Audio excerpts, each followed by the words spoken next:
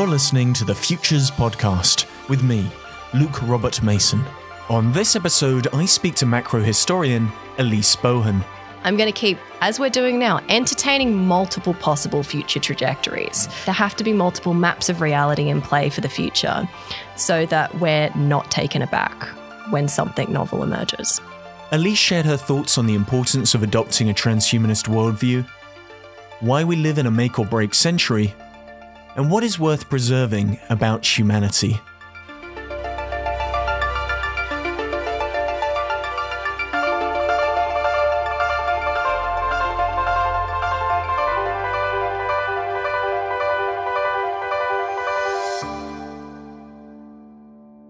My thoughts on transhumanism have changed a lot over the last decade and a half. My first encounter with the movement was when I was 19 years old. If I'm completely honest, I had been reading a lot about the ancient Mayan prophecy that the world would end in 2012. I was an impressionable undergraduate student with an interest in ideas related to the future. Naturally, I gravitated towards a doomsday vision that looked set to have a massive impact on my life in the next few years. This investigation took me through the work of Daniel Pinchbeck, Terence McKenna, Peter Russell, and James Lovelock. I don't exactly know how I arrived at transhumanism from this motley crew of New Age and original thinkers, but I suspect it may have something to do with the fact that they were all loosely intersected with the LSD advocate Timothy Leary. During his time in prison, Leary had developed a futurist philosophy, SMILE, which stood for space migration, increased intelligence, and life extension. What's more, he was quite optimistic that many of these things would occur within his lifetime. Uh, they didn't. Uh, Leary wrote his futurist philosophy in 1976, but I found out that it would go on to inspire many of the core tenets of the 90s transhumanist movement, who believed that a combination of radical technologies, including cryonics, biotechnology, nanotechnology, and artificial intelligence, would be the key to humanity's future. With this new interest, I abandoned my interrogation of the 2012 phenomena and started to explore how technology might actually help us delay the end of the world. I got to meet my first real transhumanists in 2010 after I discovered that the World Transhumanist Association, recently renamed Humanity Plus, was still in existence. David Wood, a self styled futurist famous for having developed the Symbian operating system that ran on the majority of Nokia phones at the time, had organised the Humanity Plus UK conference at the Humanist Centre, Conway Hall, an event I eagerly attended. I had been given a small grant from the University of Warwick, where I was an undergraduate student, to shoot a documentary about some of these folk. In a weird sort of way, that documentary was the precursor of the Futures podcast. Uh, thankfully, it never saw the light of day. One day I may consider releasing some of the audio from those interviews as a bonus episode, but uh, we'll see. Uh, the great thing about the project is that it gave me the excuse to interview some of the leading figures of the transhumanist movement, including Natasha Vita-More and Max More. Max was kind enough to give me an hour of his time to share his thoughts on cryonics. It's the first time I'd ever heard someone speak passionately and seriously about the concept of uh, human popsicles. I was hooked. I think that's what I've always loved and moreover respected about transhumanists their steadfast commitment to their personal visions of the future. It doesn't matter if they might ultimately be proved wrong, there is also a small possibility that they might actually be right. The older I've gotten, the more critical I've become of the more outlandish ideas that are associated with transhumanism, such as mind uploading. My podcast episode with Edward A. Lee goes into some depth about why I believe this might not be possible. But it's still always a joy to be in the presence of folk who truly believe that science and technology will guide our next stage of evolution. Transhumanists truly believe. One believer is Elise Bohan. She represents a next generation of the transhumanist movement who isn't afraid to confront the trickier aspects of its past. As you'll hear on this episode, we don't always agree with the direction of travel a transhumanist future will take us. But the value is in interrogating these possibilities as if there is a real chance they may come to pass. Doing so will help us to develop the foresight we will need to avoid the unintended consequences of pursuing such a superhuman future. So, spoiler alert, the world didn't end on December the 21st, 2012, but as Elise points out in this episode, it's more important than ever to explore all the options we have available to us in this make or break century. Doomsday is still constantly around the corner, but that doesn't mean it needs to be inevitable. So it's with great pleasure that I get to introduce you to my friend, Elise Bohan. Your new book, Future Superhuman, really tackles this concept of transhumanism. So I feel like I have to ask the question of what is transhumanism? Yeah, sure. So, transhumanism is basically a philosophy and a social movement that goes back formally to roughly the year 1990. And it's all about extending those core principles of Enlightenment humanism, where we want to use science and reason and education and cultural tools to improve the human condition to bring out the better angels of our nature. But transhumanists, they kind of they have a bolder vision. They want to take it one step further and use the best of modern science and technology to radically extend the parameters of what it means to be human, to push up against all of those biological boundaries, push back against things like aging, disease, mortality, extend human health spans, and enhance human intelligence is a really, really big facet of those aspirations. Well, would you happily describe yourself as a transhumanist? Yeah, I think that basically the core ideals of trying to bring about a good life for as many people as possible, and particularly when that centers around enhancing intelligence and enhancing our ability to understand and solve problems in the world.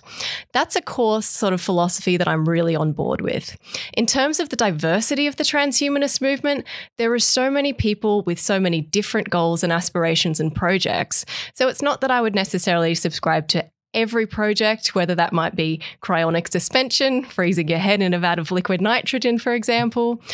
But yeah, basically the idea of being the best that we can be and ameliorating as much suffering in the world as possible. Does it always necessarily have to be about being better, enhancing yourself, or could a transhumanist project be about living a differentiated way in this world? Yeah, that's a question that comes up a lot. And I've thought about that really deeply.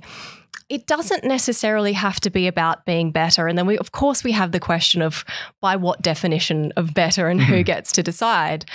But I think there are some objective things that we can sort of pinpoint that basically, if we strip away the idea of radical enhancement and radical transcendence, almost everybody sort of agrees. Well, it would be good not to fall apart and die prematurely. It would be good not to get cancer or heart disease, for example.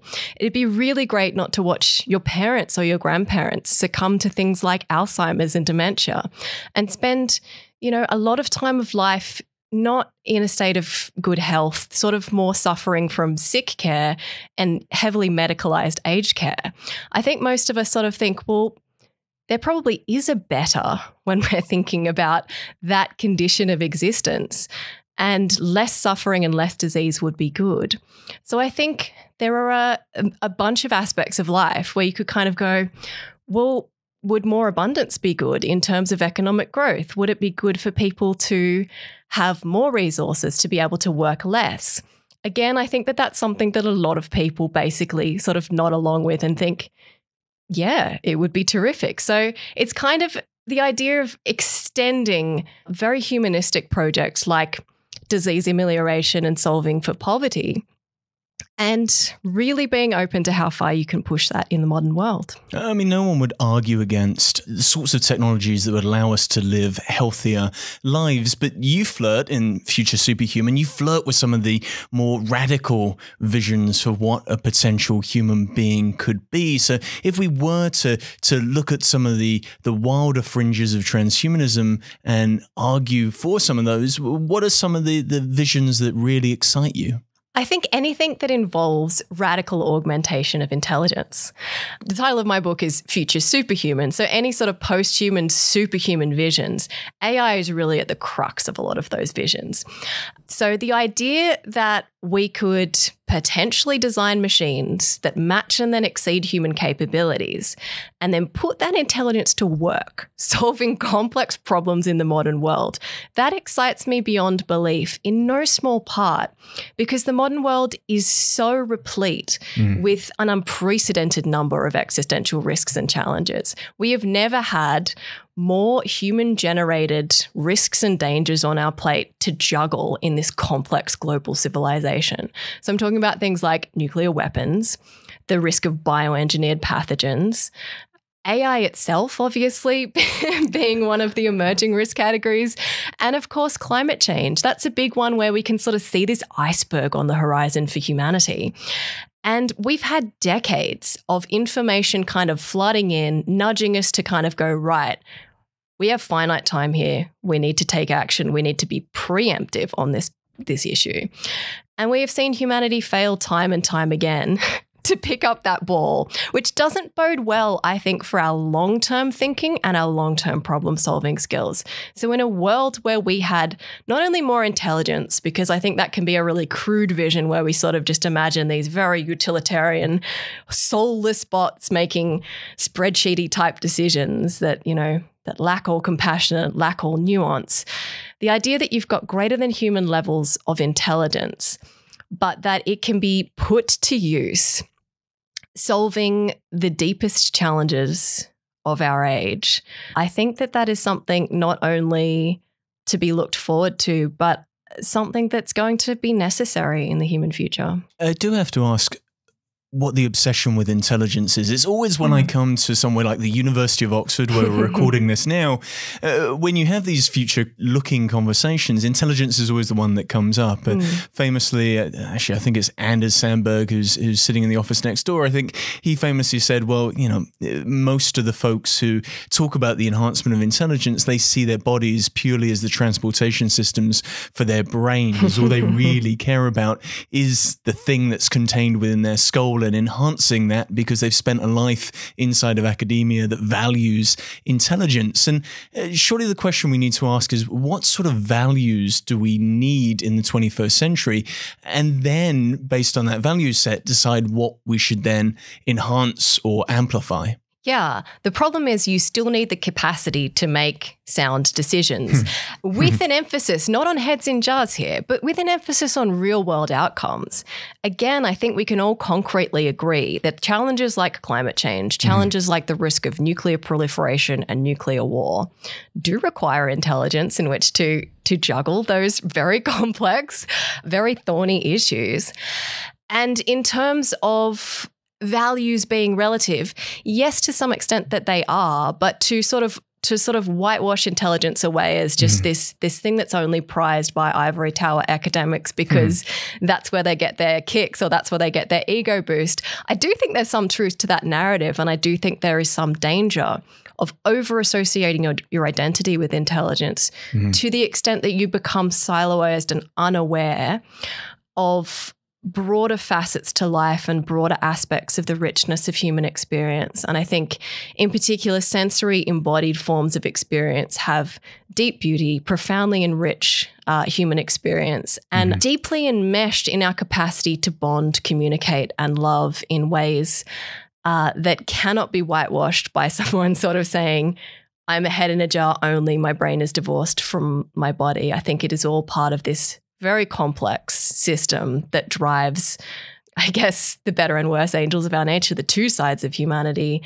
We have seen in recent history that humans struggle to be on the same page. We're probably struggling more than ever to have a common sense of a core reality, a common origin story, a common set of beliefs and and cultural values.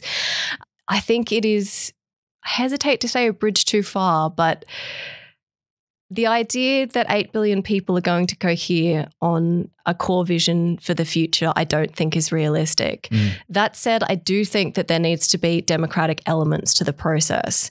It's one of the reasons that I do think we need better stories about some of the more challenging ideas of our age, to even talk cogently about things like AI reaching and exceeding human intelligence and maybe disrupting lots and lots of facets of our lives. Mm. So, whether that be our employment prospects, our dating and mating lives, the global demographic situation, global fertility rates. There are so many forms of disruption that we could say uh, AI impacting our world with.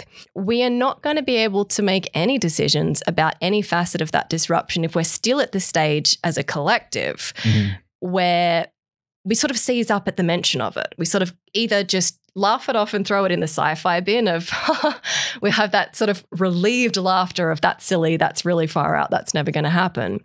Or the more defensive reaction I think we're starting to see more of, which is, oh, I don't like this. Oh, if you're talking about this, mm-hmm. you, you must be one of those baddies. Uh oh, I'm I'm I'm very confronted. I would like you to please stop talking now. I think it's really important that we keep talking, but are able to acknowledge this is one of the most confronting stories and potential realities that humanity has ever faced. The idea that within our lifetimes, within the 21st century, mm. humanity will reach a level of technological maturity where they are able to potentially seed their own successes, or what the roboticist Hans Moravec called mind children. Mm. That is not what any flesh and blood human being wants to hear because we've evolved on the African savannah to live lives that were the same as our parents and grandparents' lives, where technological change happened really, really slowly, mm-hmm. where your expectations were kind of baked in from day one and you didn't have the rug pulled from under your feet. You didn't face this sudden cascade of threats to your sense of identity, your sense of purpose, your livelihood, everything that you've kind of invested in in life.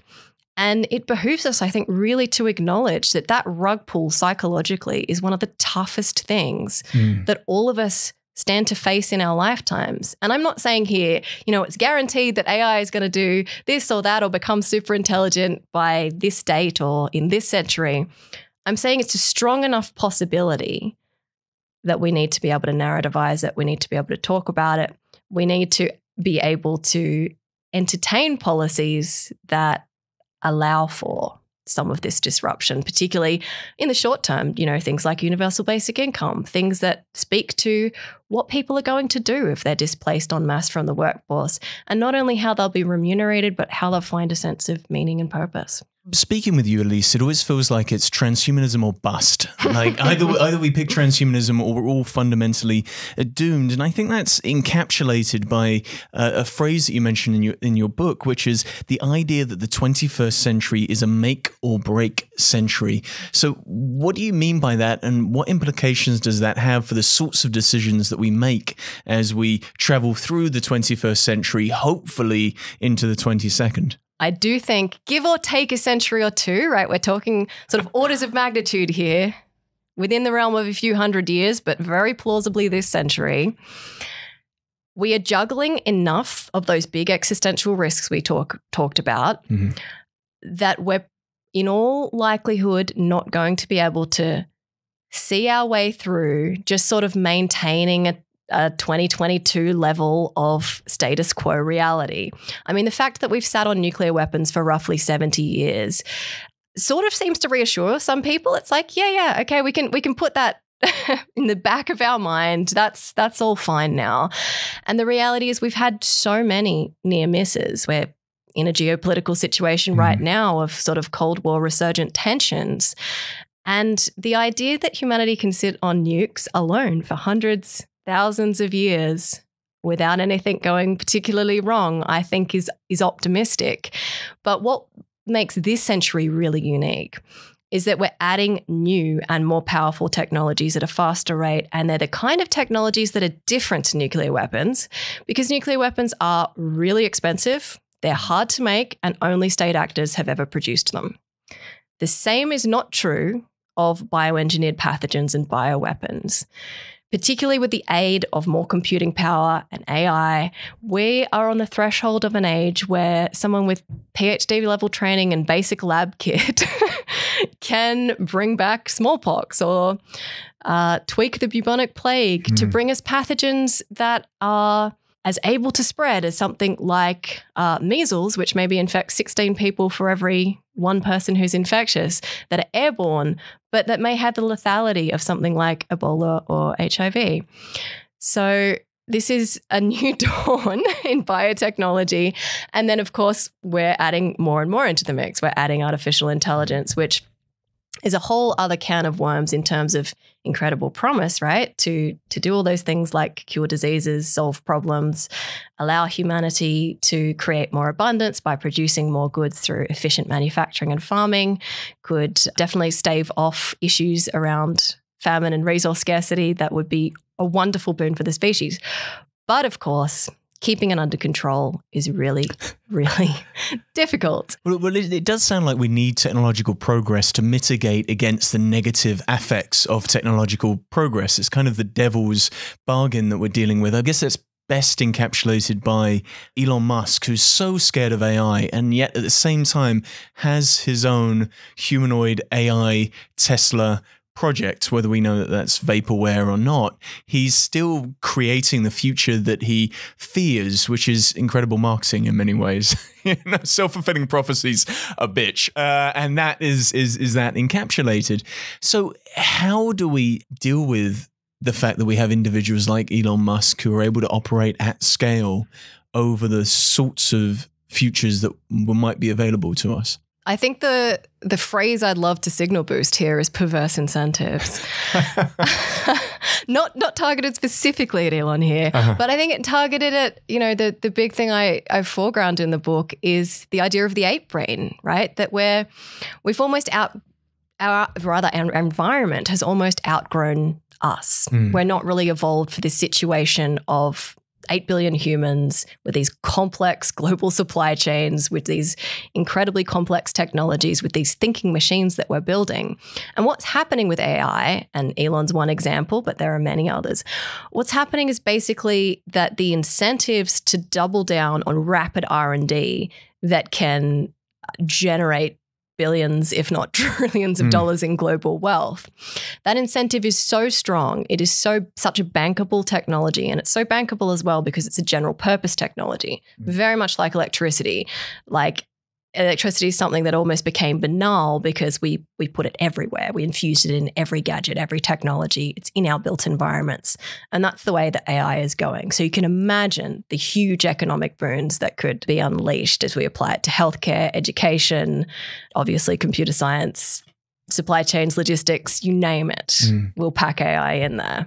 It's it's uh, ironic with many of the conversations I have on the Futures podcast, specifically about AI, that it's seen as this massive opportunity and yet also at the same time this massive threat. And then the solution for it being a massive threat to you know the, the famous one is a threat to our jobs is well we'll just integrate ai into the human. We'll make uh, a techno human hybrid the cyborg with the neuralink attached to their brain so they can download information directly from the internet. And and that presupposes that the values we have are purely tied to the job market. The, the only reason we would want an AI uh, directly drilled into our minds is because it gives us some sort of advantage, not in the world, but in the market, which is an artificial construction in its own right. So it goes back again to that question of uh, what is it we truly are amplifying? Are we amplifying the sorts of things we think will be valuable in the future, based on an environment and a value set that we've created, which is based on market economics? Or is it truly about amplifying these things that make human beings so special? Because it feels like the more we uh, technologically enable the human being, the, the less we see the human as this, this special entity. The problem with AI is that we know so little about how it reaches the conclusions it does when we're using deep learning neural nets, how it autonomously operates in the world, mm. and how it may or may not misinterpret human commands, particularly as it gets more intelligent and has more autonomy. This is exactly the double edged sword that we face that we have enough of it in our world to have created these big problems that we can't seem to solve with our ape brains. Mm. So, what do we need? We need more minds. We need cleverer, more objective, more rational minds than our own. We build them, but of course, they're an outgrowth of our own minds. Mm. And we may very much encode some profound errors well, that, into those. That, that's the great irony. Children. That's the great irony in what you said there. It's like so we we have these these ape-brained humans creating these sorts of technologies that are going to bring us into the future, and yet the fundamental flaw is that it's ape-brained humans that are creating these technologies. So, so what makes you believe that we're on the correct trajectory? Surely we need to enhance our intelligence first before we find the technologies that are going to create the future intelligence. We're, we're basing this on a on a human that has so many flaws. Yeah, to be clear, I don't necessarily think we're on the right trajectory. I think we're in a I mean, make or break century. We're uh-huh. in a uh-huh. we're in a danger zone here. Yeah. If we dwell too much on the danger zone, we're at risk of paralyzing everybody around us. We're at risk of that, the same problem with climate change. If we go too hard down the doom and gloom story, then people feel hopeless, it's inept, we shut down.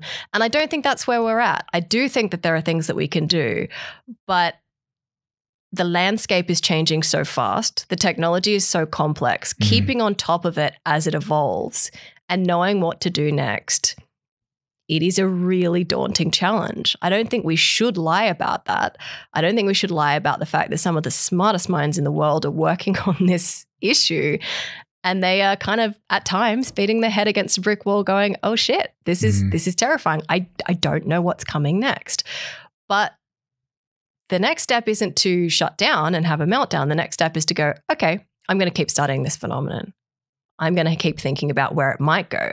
I'm going to keep, as we're doing now, entertaining multiple possible future trajectories. Yep. There have to be multiple maps of reality in play for the future so that we're not taken aback when something novel emerges. My challenge is with, and look, I'm pro progress in, in many ways and, and very much pro transhumanism.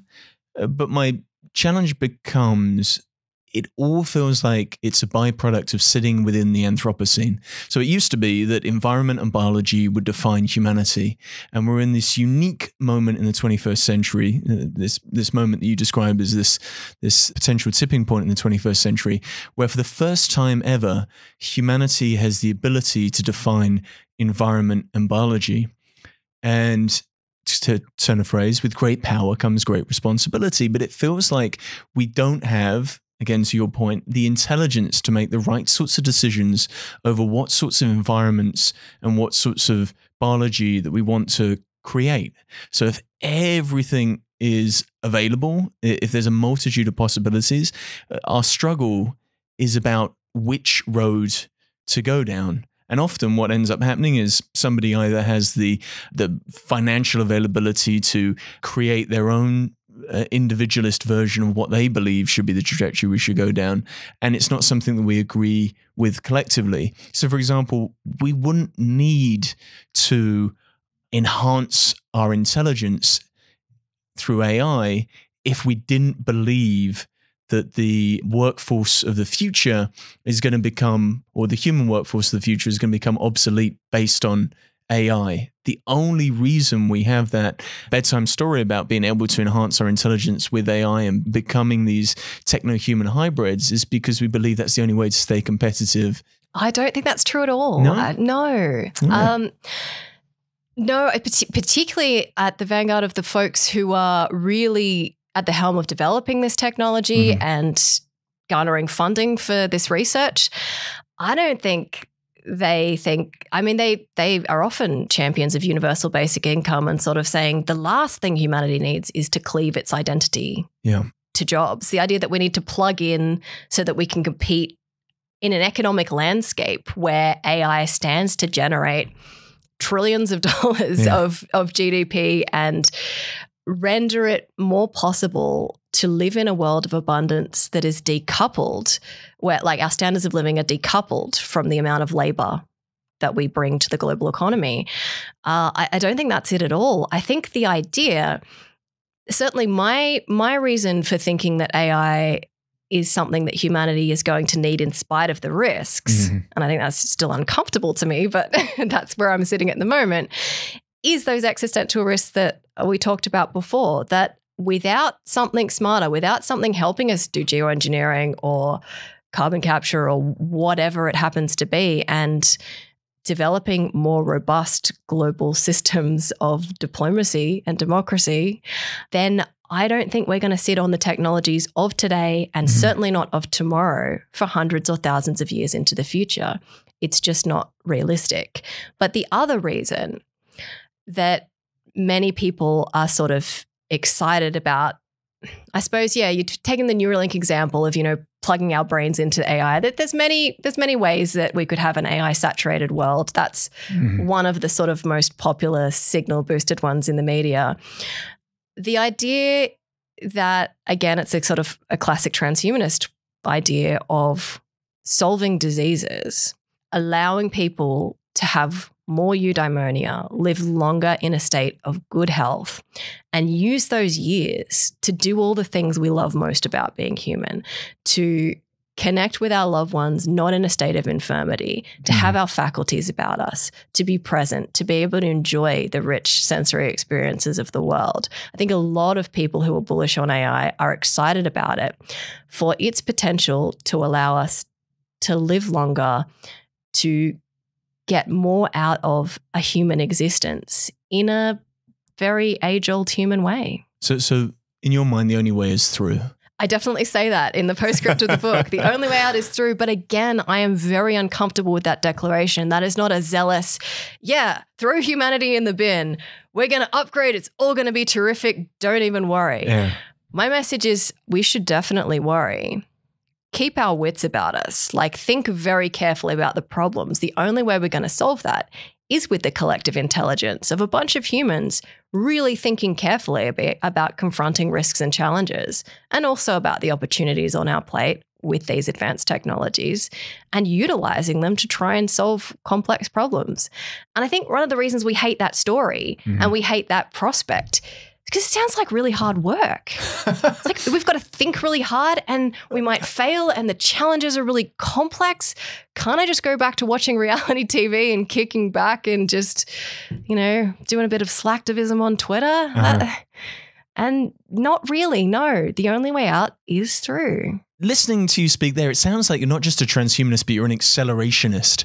You know, in your mind, this stuff has to happen now and it has to happen as soon as possible. W- would you agree with that statement? No, I mean, no, I'm definitely not an accelerationist, but I am torn. I'm very much in two minds. Mm. There is that question, and a lot of the AI safety community is mulling over the same question, right? Do we slow it down or do we speed it up? Yeah. And I think it's dubious that we're really in control of either. Again, sort of when we signal boost the idea of who's who's deciding what the future is. The billionaires will just go on and invent the AI according to their standards and their desires. I think that gives again humanity way too much credit and humans way too much agency in the story of history and evolution. Uh-huh. We know that it's it's microbes, it's plate tectonics, it's the availability of domesticable crops that have determined so much of the course of history over time, things that humans haven't really been in control of. So if we think about other big revolutions in human history, hmm. particularly mm. the, transition from Paleolithic lifeways to agrarian lifeways, it wasn't like all of our hunter gatherer ancestors like had a tribal council meeting and they all sat down and they were like, right, see those crops over there? What if we collect the seeds? We plant mm. them and we just build huts here. And instead of being nomadic, we'll be sedentary.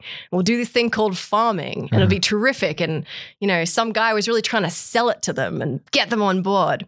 They did it because their environment changed, their yeah. niche changed.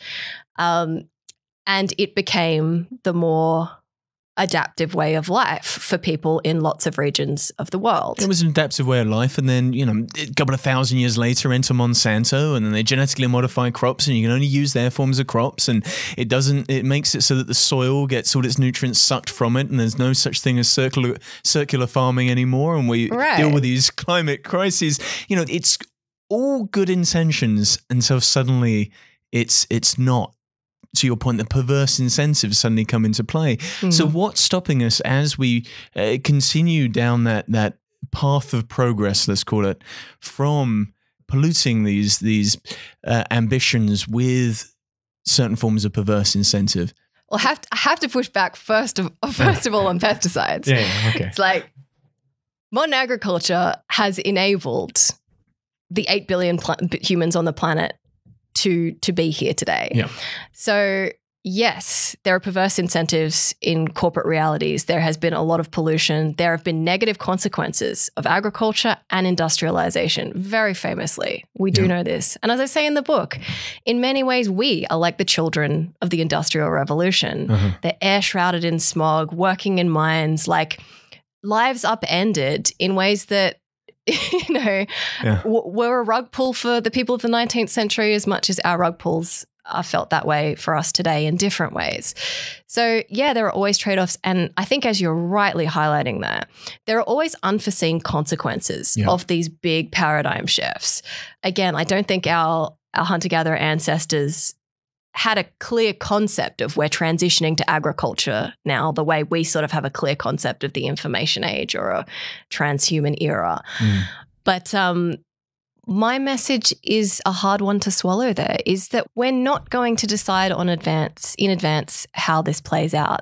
We don't know enough and it's happening too fast. This is one of the things that makes this transition even more scary and even more of as I say, make or break than any of the other transitions in human history. Well, this is the the weird inconsistency I find from the transhumanist movement when they describe transhumanism. So for some, it's about fixing things, i.e., fixing, repairing, ensuring humans can live longer, or, or fixing our, our uh, limitations of our intelligence. But for others, it's about fixing things, holding what the human is in this special moment in time and space, i.e., looking at the 21st century human being and going, you know what, more of that, please. So I'm going to cryogenically freeze the human as it exists now in the assumption that it will continue ad infinitum, or I'm going to continuously replace this human being with different biological inputs or, or prosthetics and body parts so that it maintains some form of consistency, or I'm going to take that human brain as it exists now and upload it into a computer so that this form of human being can live on ad infinitum. It's less about being open to the multitude of possibilities for what the human could become because that's when posthumanism comes into the frame. It's like well this could be radically different from the human we have now. So of those two different visions of transhumanism which one do you feel most at home with? The idea that 21st century human is a thing that's worth preserving but preserving indefinitely into the future or 21st century human is something that we should kind of use as the prototype for whatever we may become in the near future Definitely the latter, the prototype for what we become. I don't think fixing in rigid terms is realistic. Uh-huh. I don't think many transhumanists subscribe to that, but I do know that the flavor of transhumanism that you're talking about there. Mhm. I think you put it really beautifully. I love that idea of fixing and fixing. it's, it's a terrific way of putting it. I think when I was younger, when I first encountered transhumanist ideas, there was more, you know, you find more of this sort of in media clickbait and things like that. There is more of a signal boosting of the the razzle dazzle stories that are Mhm. like upload your brain, live forever, transcend. But, you know, the idea that you're still you, but you get to sort of bootstrap and come along for the ride. Mhm. I don't think it's even remotely plausible that a post human being, whether, you know, maybe we have integrated in some sense with artificial superintelligence, Mhm. that thing is so far beyond us. It would have altered all of our aspects, all of our cognitive landscape to a point where it's utterly unrecognizable. You can't add orders of magnitude more intelligence into the system Mm. and interface with silicon intelligence and and still be you in the same way, not quite in the same way, but in a cruder way, you know. I don't think 5-year-old Elise is still with us. I Mm. think we we die many times over and the idea there is continuity, you know, philosophers talk about patternism and you know the fact that that memories and patterns of experience kind of survive within the brain over time. Mm.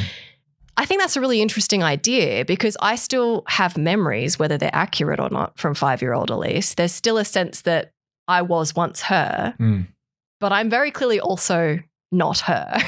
she she's not here in this room today. In in in every sense, in a literal sense, the Uh-huh. atoms in my body are different. Yeah. You know, I think it's transhumanism is often accused of, you know, is it a quasi religion? Is it a religion for tech geeks? Is it really all just about bringing back this vision of immortality, Mm. but not a kind of more poetic immortality where some nebulous aspects survive, but the idea that I, me, the ego Mm. survives. Yeah, I find that idea less interesting than ever and, and kind of distracting because I just don't think that that's can happen or will happen. I mean, the idea of whole brain emulation, for anyone who's familiar with that, the idea of, you know, using an electron microscope to precisely scan every aspect of a human brain and replicate it. The minute that that consciousness wakes up and starts engaging in thought, engaging with the world, its Mhm. experiences diverge from the original. And you can talk about destructive uploading, where, okay, the, the original doesn't survive, but I fear that's a bit of a minefield. So I Mm. won't deep dive too hard into that. But the future that I think it's not necessarily what am I most interested in, but I think we should be talking about the things that are most probable and most practical. And with that mindset of, as you say, fixing things, solving problems in the world, Mm. The values that we have today, you know, we've talked about values a bunch. I think, again, there are some really common values that basically all of humanity shares. And the idea that we want some sense of sustainability, we don't want extinction, we don't want the things we know and love about humanity to be wiped out. I don't think any of us are particularly keen on the idea of there not being intelligent life Mm. on this planet anymore or in the universe anymore. So the idea that we fix the very real, very immediate challenges that we have, and I'm not saying that'll be done and dusted easy, but we turn our minds to it and we make that the priority of our age. Mm. That's the transhumanism I'm interested in. And I don't think the label is even necessarily helpful there. It's really just about using the best modern tools, whatever they happen to be, to deal with the challenges that are on your plate. But I think what's useful as a mindset is to be the kind of thinker that can look at the short, medium, and long range horizons in concert. Mm. I think humans are really apt to pick something that they like, and usually it's the short term horizon, roughly the next 10 years, but often the next few hours, the next few months. Am I getting promoted this year? I, me, mine. Um, and I think we need to be able to balance our needs in the immediate present with the needs of the next few decades, the next few centuries, and then ideally the next few millennia, because the the amount of intelligent life that could exist if we Mhm. get this right, if we make it through this century, we're talking trillions of possible people in the future. Is that even possible to live in those three different time zones simultaneously? It's Big- hard.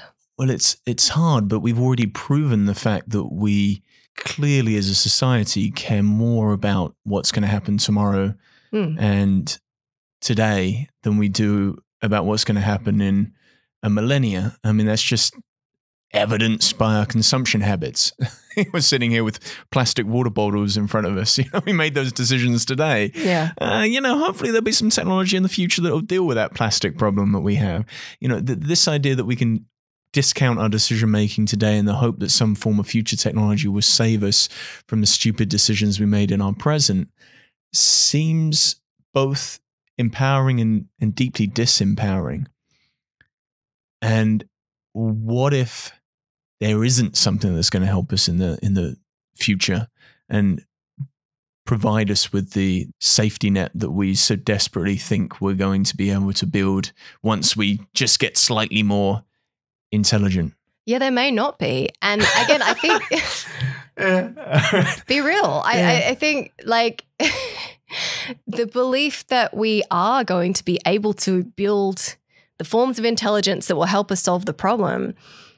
Uh, as we've as we've as we've been talking about, that is a, that is Yeah. a really open question. There's lots that could go wrong, but again, I'm more interested in foregrounding what is likely to be true and what challenges we are going to have to face realistically. Mm. So if we go back and talk about, I think you're, you're dead right. And I argue this quite strongly in the book that the biggest impediment to us solving global sustainability challenges in the 21st century is our ape brains, is humanity itself, which again is not to say we loathe humanity, we want to put it in the bin. It's we love the best of humanity so much, but look at us struggling in this complex system that we've built that's kind of run ahead of our ability to map it and understand it and rein it in. And so, just realistically, we have to talk about the fact that the ape brain is almost an X risk category in itself. Mm.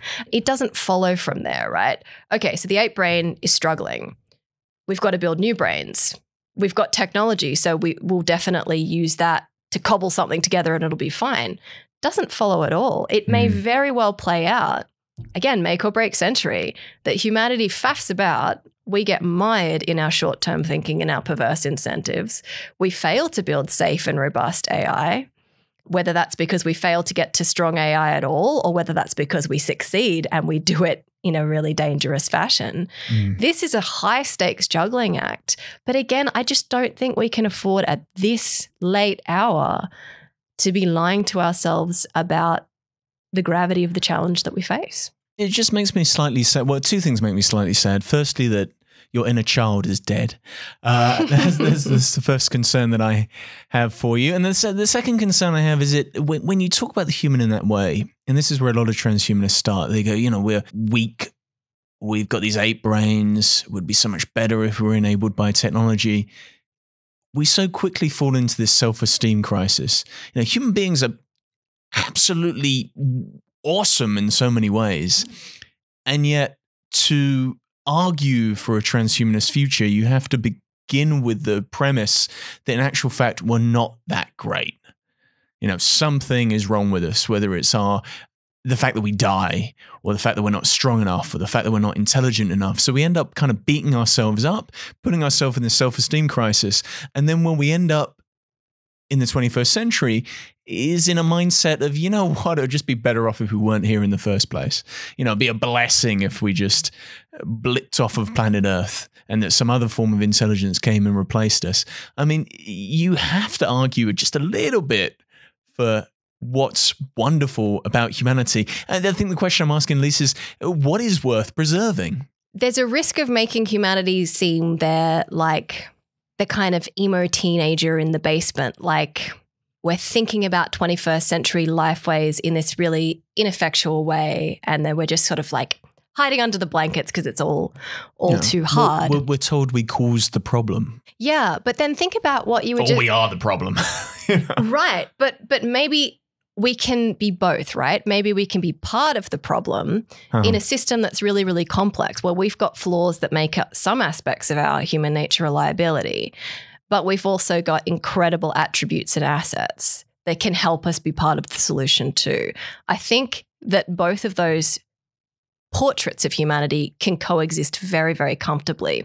So think about what you were saying earlier, right? About the human short termism. Look at all these perverse incentives. Look Mm. at this spiral into vapid forms of capitalism that suck people into, you know, less than ideal, unimpeachable behaviors. Mm. I think you've already sort of signal boosted in this conversation that there are aspects of humanity that are kind of failing us. And when we sort of talk about the human ability to build these machines, you're sort of foregrounding, yeah, but look at us. What what if we trip up? What if we fail? Mm. What if we're not even smart enough to build these machines we think they're going to be so useful? You're absolutely right that our propensity for short termism is dangerous. And I don't think it's having low self esteem to admit that. I think it's being honest. I think it Mm. just has an even handed evolutionary view of how humanity fits into the broader complex system that it's created. But in terms of what we go on and do with that, I think there's incredible hope. So to to bring it round to what you were really sort of driving at, what's so great about humanity? What do we want to preserve? Mm. Some of the things are things that we share with other conscious creatures, starting with consciousness, our ability to have a sense of our existence in the world, to be self reflexive. That allows us to have experiences that I think, at least within our anthropocentric perspective, we would consider richer, deeper, and more beautiful than, say, what a cockroach or a bacterium experiences, at least what we expect they would experience. It is a remarkable privilege to be a human being dancing around on this planet in the sun for however long we get, mm. to be able to unravel some of the workings of the natural world, to again signal boost intelligence here, to begin the journey of knowing thyself and through knowing thyself, knowing others, the exploration of psychology, of cognitive science, Mm. how we are able to commune with each other in ways that are just can be at their best transcendently beautiful. And that can be instantiated in the physical world when we make love to a partner, when we have a mm. beautiful conversation with our deepest friends and family members, when we hold our children in our arms. But it can also be instantiated through space and time because we are a storytelling animal. We have this mm. incredible ability to travel through time, to tell stories that connect us to minds long dead. And we at least think that this is a really, really beautiful thing and that it could be the seed, I think, of even more beautiful forms of experience, conscious connection, and exploration in the future. So, if we're so great, why are you so obsessed with hoping that we find out we're just like machines? if, it, if if all of that is true, if we are these uh, special creatures, individual from anything else in nature or anything else that we can make, why is so much of the focus in some of the transhumanist, perhaps transhumanist, maybe posthumanist technologies that you're mentioning, on seeing the human as not special, as just some other container for intelligence and we can create this thing externally from the human being. Why are we so quick to discount all those things when it comes to talking about future technologies or techno human hybrids? Why can't we just sit back and enjoy what it means to be human as opposed to be like, yeah, you know, all these wonderful things, this storytelling thing is great, but it would be cooler if I could storytell with a prosthetic limb. once again, once again, two things can both be true. All right. Right? So we can we can have incredible abilities that are really really beautiful, Mhm. that are enriching, that we revere. Yeah. And we can say that this is unlike anything that's ever emerged on earth and that's remarkable. But it doesn't follow as as any evolutionist will tell you. It doesn't follow that that means we go kick back and go right. Clearly, we've reached the pinnacle of evolutionary Yeah. potential. Job done. I mean, we, we really can't improve on this. This is this is just this is where it's at, guys. Yeah. I mean, again, as I say in and the book, I stand by all the beautiful things that I've highlighted about human nature. And yet, we are the species that enslaves each other by the millions, that Mm. has got, as we speak, 7 billion chickens Mm. in factory farmings, living in, in farms, living in conditions of abject torture right now. We are the species that mutilates by the hundreds of millions the genitals of young girls. Like the idea that we've got it sorted and that we don't need to think about self improvement is patently absurd to me. Mhm. But again, the to the real question that brings it round to transhumanism, why can't we just kick back? Why can't we just enjoy what we've got? It's a nice idea. And there's a I think there's a romantic part of me and so many people in the world today as we, you know, face all these complex global challenges, there's this resurgence of nostalgia for the past, this Mm. looking back to an age where we had things we feel like we're losing in an age of digitization and atomization. So, community, family, connection.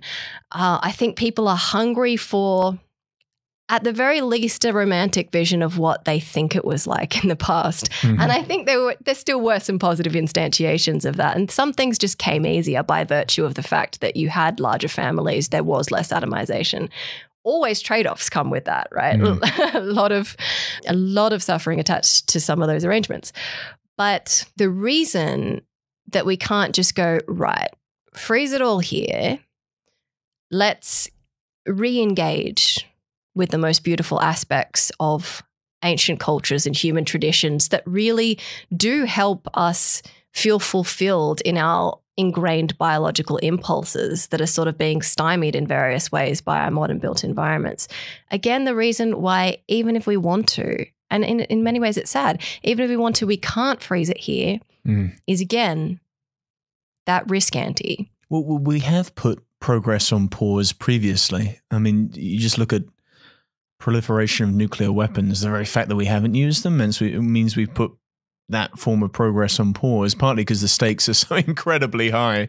You know, that's game over. Well, I mean, the, the stockpile of nuclear weapons globally has declined, but we've Oh. gone from a handful of state actors possessing them to nine state actors possessing them and counting. Uh-huh. And again, I just, I have to remind you 70 years with multiple major near misses and two detonations of nuclear weapons is not a great track record. It doesn't inspire a lot of confidence. And, and as we've said, nukes are one risk category that we have to sit on. We're quickly racking up multiple other risk categories that we also have to keep in check, not just for another 70 years, but in perpetuity. Mm. And that just is no longer a realistic prospect.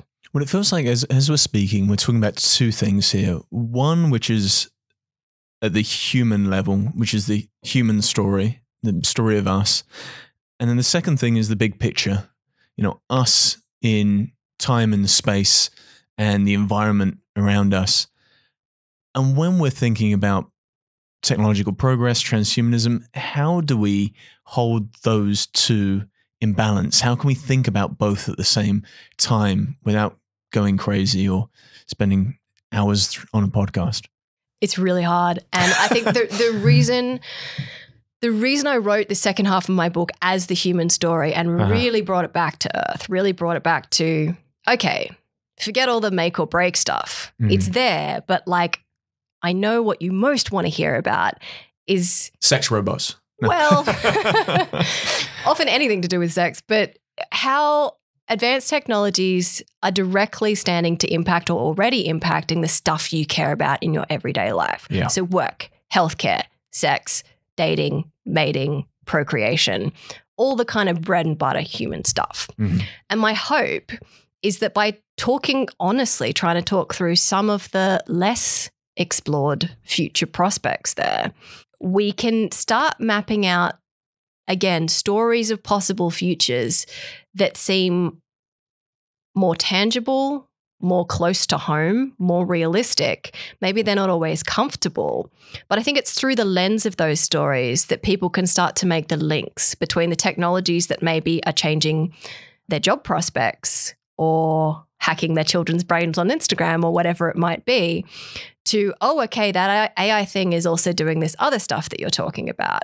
Mhm. I see how it is all part of this larger idea of this species in transition, these technologies that are simultaneously, I guess, upending multiple different facets of our lives.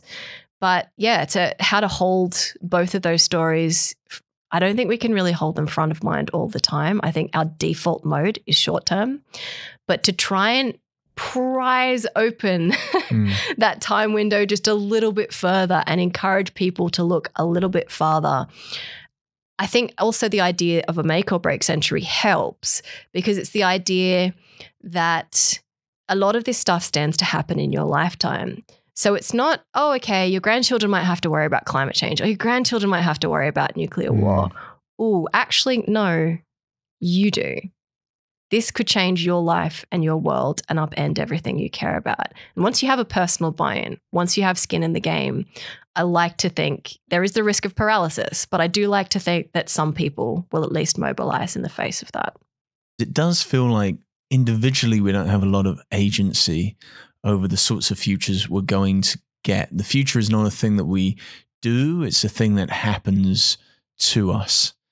So, is there anything, unless we end up in an AI research institute or some form of nuclear arms decommissioning company or advocacy or something, is there is there anything we can do to generate or or at least try to create some of the futures that we may want or should we just leave it up to the folks who are at the forefront of these uh, industries technologies or scientific innovations I think potentially one of the most important things is keeping some of those folks in check some of the time. Yeah. Some of them do wonderful work, some of them go rogue. And it's it's kind of hard to know who's who and what's what sometimes. But the idea of trying to be informed, you know, we say this about a lot of issues. It's it can be a somewhat ineffectual nudge sometimes because we're suffering from a deluge of information. It's very, very hard to be informed about a lot of this stuff but informed enough, I think, to understand the correct place of existential risks in policy Mm. uh, and in democratic systems. I think that is of real value and a more informed populace that values existential risk mitigation, that truly understands how vast the, f- the potential of human and post human futures could be and votes in that direction. I think that really can make a difference. That's the tricky thing about this idea of existential risk because it's both a noun and it's a verb. So, existential risk as a noun is the things, the list of things that could happen to us, whether it's nuclear war, AI, nanotech, asteroid. Those are the existential risks that threaten humanity. But also, there's the existential risks worth taking. Existential risk as a verb, the things that we should do as a humanity to mitigate against negative consequences. And I worry that we don't get the chance to propagandize the sorts of things that we should do. We spend a lot of time worrying about the things that may happen to us. So, again, a victim of circumstance as opposed to allowing ourselves to feel like we have any stake in the game, which then leads on to that feeling of hopelessness, self esteem crisis within humanity. But you said something quite revealing in your previous answer, which is this idea of a species in transition. In other words, we are already in a transhumanist era, whether we know it or not. So, what does that look and, and feel like? I guess how do we know that we're we're floating within this uh, transhumanist era, and and what do we need to do to I guess stay on that trajectory as we're currently in this transhumanist era?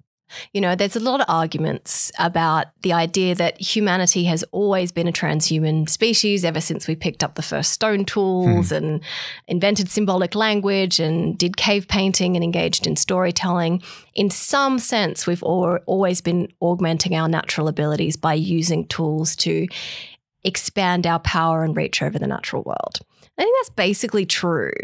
But there's a big difference between stone tools and the modern technologies we have today. Mm-hmm. And I think the thing that makes the 21st century a markedly transhuman era, a point where we are actually in transition.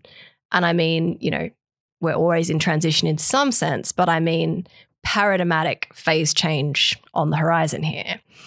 Is the idea that for the first time, post industrial revolution, we've inf- invented the technologies of the information age. Mm. We have augmented humanity with what is now effectively a global digital brain. We have 5 billion humans and counting connected to this mm. augmented intelligence, I suppose you could call it. And it is getting more and more intelligent as time goes by. I think the Google is the biggest AI company in the world, has the most data that is, you know, mining all of these insights into human psychology, into human behavior, into how into cognition. And that is getting more and more powerful at a really astonishing clip. Mm-hmm. So we've already felt the effects of this in ways that, again, to, to bring it back to that electricity comparison, that we kind of eye roll at as being really banal now. I mean, I'm if I hear another person, futurist, get up on a stage and be like, "Do you know the smartphone in your pocket has more computing power than something something sent that astronauts to the moon?" Eleven, yeah, and it's like it's become such a dull factoid, and yet it the true implications of it are mind blowing. Mm. The fact that if, you know, 10, 15 years ago, you'd said to pretty much anyone alive today, in 10 years, you'll be walking around with a supercomputer in your pocket and, you know, you'll be glued, it'll be glued to your palm, that you will be crossing the road looking at this thing, scrolling through these kind of digital, virtual, social landscapes where you're curating your identity and beaming it into cyberspace, into mm. these kind of uncanny valley visions of your ideal uh, of personhood, we wouldn't, not only would we not have believed it, so many people would have said, some weirdos might be into that, but not me, never mm. me. I'll resist. I won't be interested. And I think we can see abundant evidence, the same with the internet, that once we had high bandwidth internet mm. and it mm. was democratized and became incredibly cheap, the lure of these technologies and the speed at which they become integrated into every part of the human global system, including now interfacing in much deeper ways with our cognition. We have AI that's built into our search engines and our emails and, and all the rest of it that is now preempting and predicting our thoughts, that is writing them before we type them ourselves. Mm. The idea that this is not going to continue to accelerate over the coming years and decades is is frankly implausible to me. Now, that can sound extremely exciting with the right cadence. And it can also sound extremely terrifying with the wrong cadence. And it's always fascinated me that individuals like Steve Bannon, with his online platform, The War Room, uh, warroom.org, they have a tab on his website dedicated to transhumanism. And it's all the sorts of things you've been saying, but emphasizing the negative consequences of those. So there's you know, a large percentage of the US and the Western world that sees transhumanism not as this wonderful egalitarian thing, but as a massive threat to our freedoms. And the idea of having something tracking you as you're walking down the street and you interconnect and and and uh, go anywhere with this device, amazing. But also, it can be used as a system of control. Again, it, it feels like the thing we keep coming back to in this episode, which is there's the good and there's the bad. Mm. Ultimately, transhumanism feels like it is at the cusp, and it's constantly been at this cusp of this kind of PR crisis. So, is there a way we can save transhumanism from co option by individuals like Steve Bannon who want to communicate that it is the most evil great reset control mechanism over humanity that we are ever going to see? Is there a way we can reclaim it for collective good? I don't think so. but I don't think it matters. I don't think it matters nearly as much. I'm not really interested in the meme wars. So Uh-huh, Steve Bannon alright. can say and publish whatever he likes. And Uh-huh. I think it, it was you, Luke, But that then that, that, that means you're an evil globalist transhumanist, and that, that makes you one of them, Elise. Come Is at that me. sure. sure. I mean, I think Steve Bannon knows very well what he's doing. I don't think he believes a word of what he's saying. And he's very much tapping into a zeitgeist in America at this time Uh-huh. of incredible middle and working class status anxiety and anxiety about their future livelihoods, cost of living Yeah. in a more and more fractured society. And these are all like what he's speaking to are incredibly legitimate grievances and concerns, concerns that we should all be taking extremely seriously.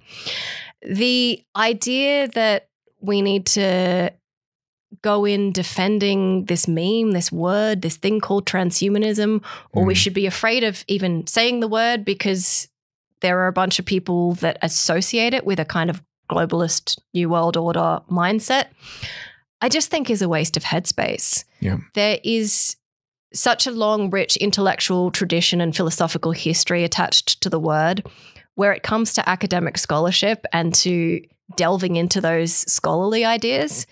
I am going to keep using the word. And if people want to brand me with pejoratives, they may. That's fine.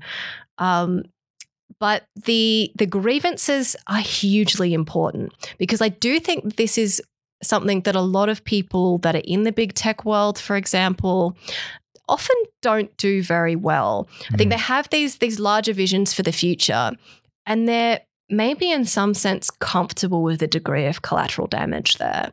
And to be clear, I you know I'm a, I'm a macro historian, Mm. so if you look back on on the arc of human history, there is no point in human history at which everyone was doing fine. In fact, for most of human history, nobody was doing particularly well. There is always, in a sense, quote unquote, collateral damage. There are always people who suffer, and often in particular, unique ways at times of revolution or transition. This should motivate any and all of us who care about building a bright future for humanity or its successors. The idea that we want to make sure these transition times, however they play out, and they may play out, you know, I might be wrong about a post human future. They may play out with humans surviving hundreds of years into the future or more, sort of roughly as we are today, with a few Mm. setbacks, and then we claw our way back to where we are now. And it's kind of this sort of plateau phase. Maybe that's how it goes. But whatever the arc of the story, we should always be trying to mitigate as much of the damage, as much as the suffering of conscious beings, of, of human beings, as we can anywhere in the world. So the fact that there are swathes of people, and it's, you know, obviously the people in Western developed nations are not the people who are suffering most in the world by and large. Mm.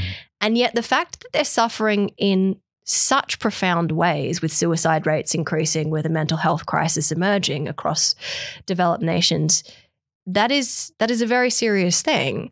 And I think to speak brazenly in a way that makes people feel utterly steamrolled by the future, like they don't matter, like the job of the loss of their jobs and livelihoods to which they may have attached identity, mm-hmm. sense of purpose, and also self esteem and ability to support their families, for example. These are losses to which we need to be striving to mitigate. I think one of the ways that we are dropping the ball like crazy, particularly politicians and policymakers, is in the absolute imperative to overhaul education systems. The idea that we are still pumping children through a factory farm model and engaging in this now quite ludicrous arms race of higher education credentialism of Mm. over credentialed people that are spending 25, 30 years before they enter the workforce at all. And then this is pushing out, you know, delayed ages of first marriage, childbearing, lots of other things that are interfering in a lot of the life scripts that people find fulfillment and meaning in. This is not good. And the idea that, you know, that the prominence that which exams take in the lives of young children today, Mhm. the stress and pressure that it's attached to that, and the sense that meaning, identity, and purpose is cleaved to getting good grades, getting into one of the top colleges. I'm not saying there's no value to doing that, but the message that it's a one size fits model all model, that that is the only way to live, that is the only way to matter or be someone Mhm. or live with dignity, that model has to go. And that is where our politicians and policymakers are letting us down. Well, it feels like if we're going to pursue a transhumanist future, then transhumanists need to learn to speak to the disenfranchised communities that feel like certain transhumanist technologies might leave them by the wayside. AI being the obviously the prime example is going to steal your jobs, and sorry, we don't have a solution for you. Apart from UBI, have you heard of UBI? Not just feel Yeah. like they're right. Yeah. Yeah, but th- then it needs to not just be a, a, a, PR exercise; it also needs to be a um, communications exercise in Mm. many ways to realize that there's collective advantages that may not be seen for decades. That's the other problem. It's like, Yep. I'm sorry that you were born within this period of time, which is to your point, the transitional period of time. You know, the the future is uh, has the potential to be a lot better, but unfortunately, the present that you're existing in right now is one of those transitional moments where we're still working out all the kinks from what we did in the past. So sorry, grit your teeth and bear it. Which, as you just said, there has been the history of humanity in so many way, ways. There's both winners and losers, and the and the pathway to uh, hell is paved with good intentions. I, I guess uh, what you're saying there about reclaiming words. So there's transhumanism that uh, you're quite happy to reclaim. There's also another word you flirt with, eugenics. So are you not just a transhumanist, but are you also a eugenicist, Elise? Depends what other pejoratives you want to slap onto that word at the same time. I think this has become an untouchable word, Uh, which is why it's a word that interests me because, like so many writers, like so many thinkers, I'm interested in and love language. mhm. And I don't believe that there are words that we should ever really stick in the bin Yeah. or make unmentionable. And it it kind of irks me that that is what has occurred with eugenics. And I, I absolutely understand the reasoning for it and all the the very valid emotional force behind that. Mhm. So obviously, eugenics dates back few hundred years. And it's always really the, the, the Greek meaning of the word is, is good births. Mhm. So it's the idea that basically we want children to be happy, healthy, as unencumbered by forms of suffering, disease, ill health as possible. And I think this is this is really a kind of aspiration that almost all of us live by in the modern world. If you think about the prevalence of prenatal genetic screening, the fact that you can just do a simple blood test now and screen for lots of heritable conditions, and you know the effort the care, the money that modern parents and parents to be throw at anything and everything that Mhm. might give their child an advantage in the world, whether that's teaching them sign language as kids or teaching them Mandarin or making sure they can play the violin. It's the idea that, in all sorts of ways, we are constantly trying to enhance the skills, the abilities, the prowess of our children in the world. That's very much what we're programmed to do. They are a package of our genetic Mhm. potential toddling around. We, we not only want them to survive, we want them to thrive. So we're kind of wired for that. And so, you know, around the time of the world wars, particularly after the First World War, there was a lot of concern amongst humanist thinkers in Britain and Europe that, uh, particularly thinkers like H.G. Wells, Julian Huxley, uh, JBS Haldane, people who were working for UNESCO, who were thinking about uh, the prospect of a Second World War. And they were really, really concerned with the idea that there seemed to be a demographic issue where there were, I think as Huxley put it, basically too many children being born in the slums in these conditions of abject poverty Mm. where there was rising damp, more children than they could feed, terrible living conditions, and these cycles of intergenerational poverty, and not enough children being born to the well to do families who, once they got rich, kind of pared back on the, their breeding endeavors. And, you know, the slow life strategy, you invest uh, just heavily in the one or two children that you do have. Hmm. And he thought that this was sort of setting us up for a condition where there were so many people being raised in underprivileged conditions who that would struggle to pull themselves out of those conditions that would struggle to get an education and then be the kind of informed citizens that would not allow such a thing like another world war Mm. to occur and these thinkers meant so so well and it was of course the, you know there's a distinction between liberal eugenics and coercive eugenics the idea that we want to encourage people to have uh, to be able to have the freedom to choose great prenatal conditions so that you can gestate a healthy baby and give it the best advantages and then coercive eugenics which now we associate with of course nazi germany and the idea that we're in a very authoritarian way declaring from on high what sort of people should there be Mm. and saying these these are these are the in group these are the out group and yeah the the after effects i think you know it's also in in a sense been associated with nietzsche i think erroneously the idea that that nietzsche's ideas were, were co-opted by hitler in in a sense Mm. and reframed really just as a maniacal pogrom and anti Semitic campaign that has nothing to do with imp- improving the character of the lot of humanity. Mm. But there was enough propaganda around the idea of, in a sense, making Germany great again. That the word eugenics has been, it seems, forever in the Western liberal imagination, been cleaved to this idea of Nazi atrocities and to the Holocaust. And I understand why there has been such a push, particularly throughout the 20th century and particularly in academia, to want to signal boost rightly the disgust at that event, Mhm.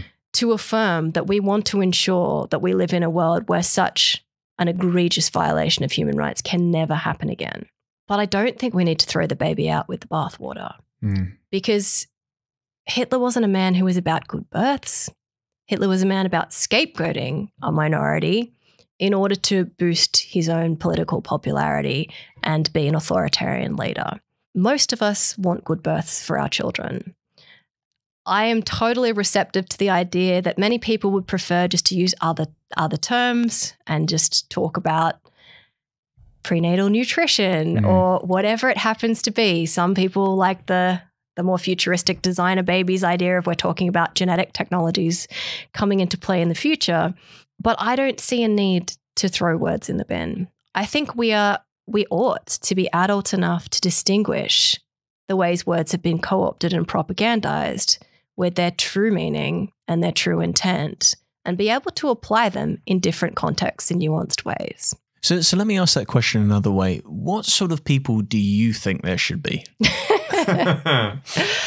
uh, not any type of person that I circumscribe as a model from on high. Let's start there.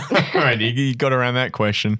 I, I- mean, when we mention this idea of genetically modifying the human for the future, a lot of people argue for, you know, we need human diversity and we don't need homogenized humans. And I'm not talking just about the the look of human beings, but also their their ability to not have or to have certain diseases.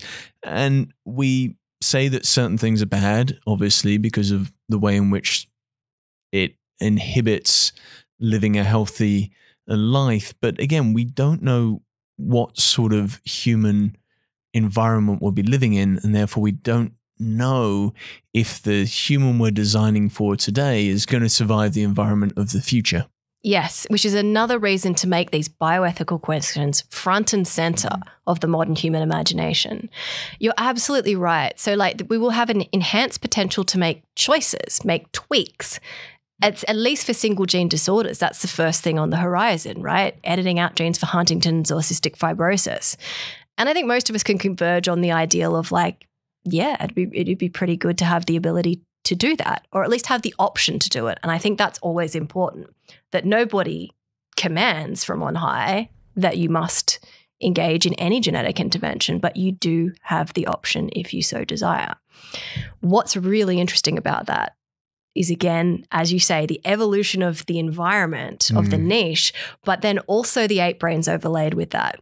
So I think once humans start to get a very clever, grand unifying theory or map in their heads, hmm. they can get very stuck on that and think, look at look at how clever this is. Look, I'll just tweak this and I'll tweak that, and it'll Yeah. just be terrific and like nothing will possibly go wrong. It'll all be beautiful. And we usually do see that there are unintended consequences from tweaking complex systems. And what I really worry about, one of the things I could imagine, right, if we could, you know, this is maybe a long shot in the near future, but if we could start to tweak personality traits, I think that's introversion done and dusted. Hmm. I think most parents to be will select for high extroversion, high agreeableness, some version of your most prevalent human traits and most sort of pro social, most socially revered, most conventionally rewarded traits. What we miss is that I think the lion's share of the greatest inventions and innovations in human history have come from very introverted, very weird, sometimes slightly autistic people. If everybody's an extrovert, who's going to design the AI? Correct. Yeah. yeah. Who's going to be the engineer at the forefront of saving us in the near future? That is the, the key the key issue. Another example I've heard is about cystic fibrosis, which is obviously a, a challenging disease to live with if you have it. It's too much phlegm in the lungs. You have to lie on your back and have your back pummeled to expel the phlegm uh, in your chest and in your lungs. But say, for example, uh, Yellowstone National Park exploded and we had all this ash and pollution in the atmosphere. All of these human beings with hyper efficient lungs will take that deeply down into their lungs and, and choke and die. But potentially, those with the ability to capture some of that pollution in their throat and expel that pollution will be the future model for an idealized human. If we start designing and get Darwinist evolution out of the way, it presupposes a certain set of values about what we think it means to live a good life in the current environment we're in. Yeah, I think that's exactly right. I think it's it's a far, far out example, but I definitely take the point Mm. that as the niche changes, new things become adaptive and they go on to survive and thrive and become normative. Yeah. So why not then translate that very principle to silicon intelligence? Hmm. Could that not be the thing that goes on to survive and thrive also? Well, this is where I wonder where you actually stand, whether it's we're going to become some form of cyborg, it'll be some techno human hybrid, or if you believe that human beings are just the, the uh, progenitor, I guess, of some form of future entity, whether that's some form of disembodied intelligence that exists on silicon, or if you think it's going to be a case that we continue to maintain our biological existence and just try and push the boundaries of death a little bit further and further down the road. Do, do you have a, a preferential future, I guess?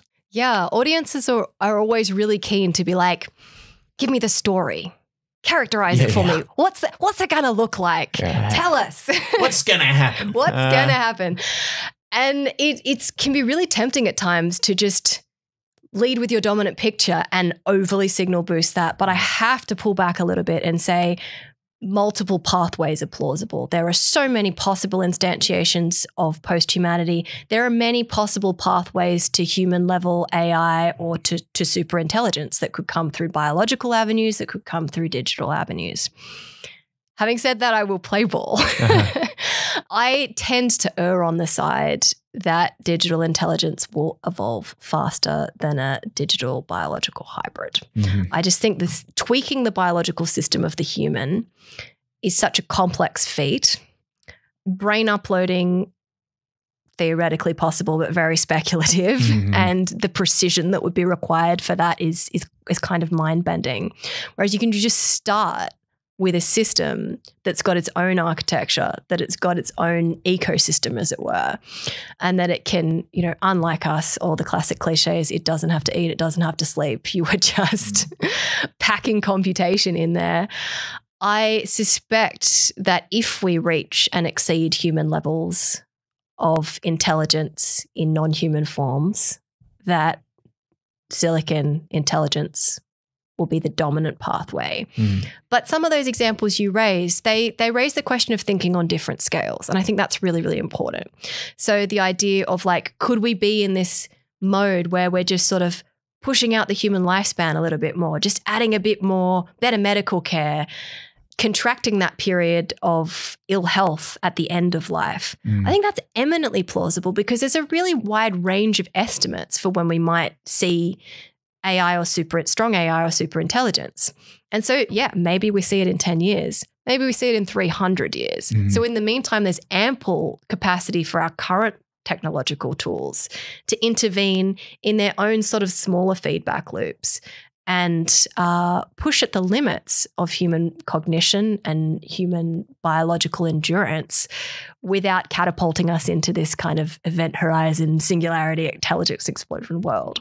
Well, the more of these sorts of conversations I have, I start to believe that it's going to be some form of forking future whereby it's all of the possibilities all at once. And the, the challenge is going to be having to deal with a society that has cyborgs with additional appendages at the same time as people have chosen to live in silicon, at the same time as we have people frozen in cryonics, which we do today. I mean, we deal quite happily with the fact that they, they, they've frozen themselves and all the multitude of possibilities on the spectrum from digital existence all the way through to some sort of elongated physical biological existence uh, that i think is going to be the true challenge because none of this happens in a vacuum and none of this will be prescribed top down. At least that's the the hope. you know, it won't be a case of yeah. all right, we're all going to jump to the silicon now. Well done for the last couple of thousand years. Um, line up, off we go into the uh, into cyberspace. That's the challenge. That's the political challenge. That's the societal challenge to not just flirt with the multitude of possibilities, but to take seriously the fact that they may come to pass. It's no longer science fiction. It's a it's a proper experiment in potentialities of world building. With that vision, I'm desperately sad that you don't write science fiction because to, to be able to hold all of those things in your head gives me the sense that you may be able to actually characterize such a vision. And I think those stories are really, really important mm. for humans to hold, as you say, multiple possibilities and multiple futures, these gradients of change in mind. I would love to see somebody render that in a convincing way. Well, there's the challenge to any uh, pioneering listener. And I do have to ask, because it's the Futures podcast, and I have to ask, how much do you think the decisions that we make today actually matter? Because after everything you've said uh, about us being unintelligent, you know, meat sacks with eight brains, I mean, are we ever going to be the the generation that creates a meaningful future that will ensure our survival or is are we going to have to rely on future generations or something completely alien from us Oh, our decisions really matter. Right. The the hard part to focus on, I suppose, is the reality that it's it's the aggregate of all these tiny decisions hmm. happening in parallel again, the complex systems dilemma, that it's so hard for us to be this overarching strategist, playing God and moving the pieces around on the chessboard. We don't have that level of omniscience. So we are nudging the future in all sorts of different directions. But we're doing it, I would say, semi consciously. It's not totally unconscious. It's not, right, don't worry about it, we're drifting. Mm. We're not totally drifting. But the complexity of the decision making we're engaged in is too much for any single human to keep front of mind, which reinforces that we need really, really robust institutions in this day and age. You mentioned the G word there. Is is the godlike thing here not human individuals acting like gods, but the fact that when human beings work collectively together, they can create something which ensures a collective future that feels a little bit like intelligent design, even if it doesn't have the same aesthetics as religion, capital R. I don't think it just feels a little bit like intelligent design. I think it is intelligent design. Mm-hmm. There was there's no evidence of any intelligent design up to this point in human history. I mean, we're here. I mean, we might be the evidence. We just refuse to accept it. Oh, if we're in a simulation, then we would have had intelligent designers. But if Uh-huh. if not, what form of intelligence designed you? It was it was a blind force of evolution. That's the thing that I think scares transhumanists. The idea that there's something blindly groping around that accidentally led to us. And then we say that us is such this wonderful thing and we'll take it from here. It's like, well, the whole blind groping at different forms of biology and mashing different chemicals together got us this far. Why don't we allow for the continuation of that blind process? Because it did all right so far. Why, why do we feel like we have the human hubris to now take the reins? In a sense, this is the continuation of the same process. If you think about it as the evolution of information in the universe, um, you know, Ray Kurzweil's version of this is, you know, you have these six epochs of evolution that Yeah. information is encoded in atomic structures, in simple forms in the early universe. Then, you know, you have uh, you have biology, you have single-celled organisms, you have brains. Mhm. Then you get big human brains, big old human brains. That's just another way of storing and processing information, these memory computers that we've got in our heads. Then these memory computers seed computer computers. Yep. And that's another way of processing and storing information. And that system starts evolving. So you can say that the technology is subject to evolutionary laws as much as biology is, mm. that the most adaptive forms of technology get selected for. And in a sense, we're just the biological machines tinkering away, the gene machines that are assembling the techno machines, and evolution carries on. So, so you heard it here first. AI is completely natural because it was designed by human beings that came from nature. Well, I mean, there's nothing in existence that's not natural. so, so it's all meant to go this way anyway. So let's just grit our teeth, uh, bear it, and uh, as you so wonderfully say, uh, the only way, I guess, is is through. Is that the case? I wouldn't say grit our teeth and bear it. Again, the only way out is through, and we will only make it through if we try really, really hard and we focus in a really concerted way in this tight time frame of this make or break century. So, uh, depending on where you put the emphasis, that is either deeply scary or wonderfully egalitarian. Both in the same breath. both in the same breath, the multitude of possibilities. And on that wonderful, weird, exciting, and terrifying note, I just want to say thank you, Elise Bohan, for being a guest on the Futures podcast. Thank you so much for having me, Luke. Thank you to Elise for sharing her vision for the future of humanity. You can find out more by purchasing her new book, Future Superhuman Our Transhuman Lives in a Make or Break Century, available now. If you like what you've heard, then you can subscribe for our latest episode. Or follow us on Twitter, Facebook, or Instagram at Futures Podcast. More episodes, transcripts, and show notes can be found at futurespodcast.net. Thank you for listening to the Futures Podcast.